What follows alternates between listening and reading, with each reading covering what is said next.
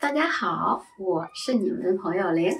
我们今天依然要讲的是腊月二十五，腊月二十五的传统习俗下。腊月二十五的传统习俗下，习俗一，大家还记得吗？习俗一是磨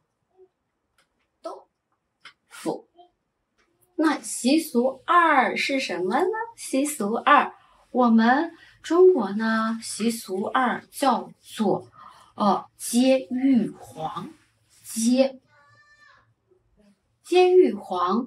嗯，大家还记得呃上期呃上上期我们讲的腊月二十三和二十四的时候呢，灶王爷会灶王爷。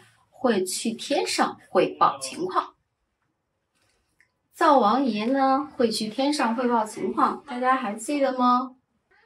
灶王爷呢会去天上汇报情况，汇报情况之后呢，汇报情况之后，然后玉皇大帝嗯会来到人间考察今年一年的人间善恶。玉皇大帝，也就是，呃，我们都知道，玉皇大帝会来到人间，也就是这样。玉皇大帝，玉皇大帝会来来人间，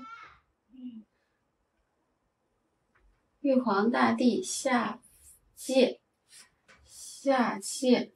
来到人间，来到人间，考察今年一年的大家的表现。人间，人间也其实呢，就是说的直白一些，也就是，也就是来到人间，人间也就是很多人。人间来考察今年一年的大家的表现，那么这个时候呢，大家表现的都非常的谨慎小心，也就是每个人都非常守规矩，嗯，守规矩，呃，目的呢是为了讨好玉皇大帝，让他开心，开心，也就是比如像这样。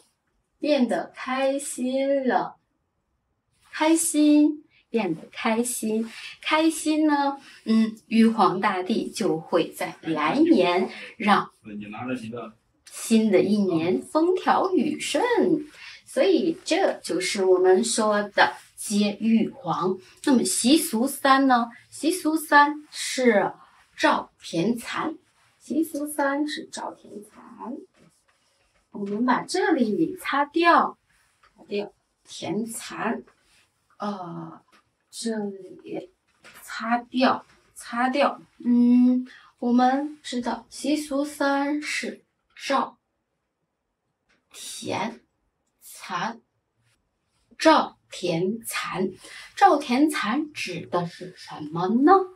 首先，第一步是。还有一个长长的杆子，有一个长长的杆子，杆子呢，然后会有一个杆子，然后会有这样的绳子，绳子，然后这是木长长的杆子，绳子，然后呢会把火把，火把，火把捆在这上面，用绳子。把火把捆在捆在杆子上，也就是木棍上。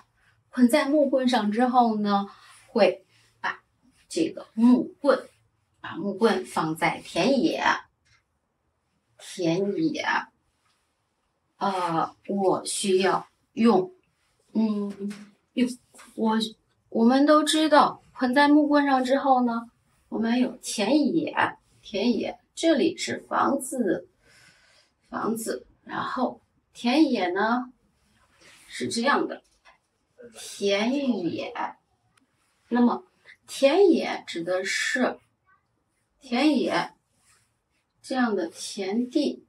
田野里面呢，通常呢会有很多的禾苗，小禾苗，也就是粮食或者叫庄稼。这里呢很多粮食或者叫庄稼，庄稼，庄稼，然后会把杆子，会把杆子，也就是棍子。这个也就是这个棍子，这个棍子上捆的这个火把，放在田野，放在田野，放在田野的目的呢是看火焰，火焰是否很旺，燃烧的很旺。如果火焰很旺，如果火焰很旺，预示着来年风调雨顺，风调雨顺。会是一个丰收年，丰收年，也就是我们都知道，丰收的话呢，粮草，丰收年，也就是寓寓意着，寓意了，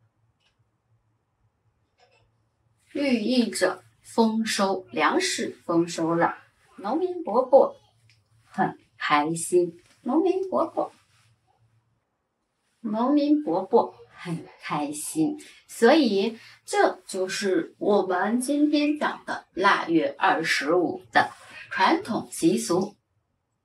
下讲的就是接玉皇和赵田蚕。好了，关于腊月二十五的传统习俗呢，今天玲就跟大家分享完毕了。我们下期再见吧，朋友们。拜拜。